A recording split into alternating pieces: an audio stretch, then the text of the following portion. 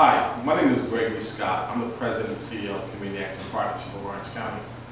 We are certainly living in some unprecedented times, unlike we've ever seen, which has impacted all of us, but especially those who are living with poverty.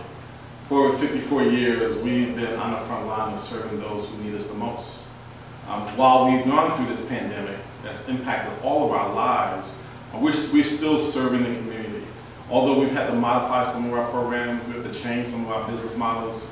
We have staff who are working remotely, um, but things like the food bank um, is still operating. We're serving thousands and thousands of, of boxes of food to so many community residents who are in need today. We're also providing services at our family resource centers, where we are providing food services there as well.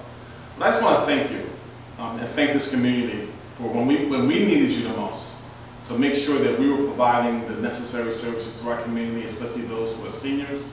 You stepped up. Thank you to the volunteers. Thank you to our, our partners. Thank you to our donors um, who really rallied around us to make sure that we were still on, on the front lines. But what's, what was really important for us is to make sure everybody's staying safe and staying healthy. So we are wearing our masks. We are washing our hands. We are practicing social distancing.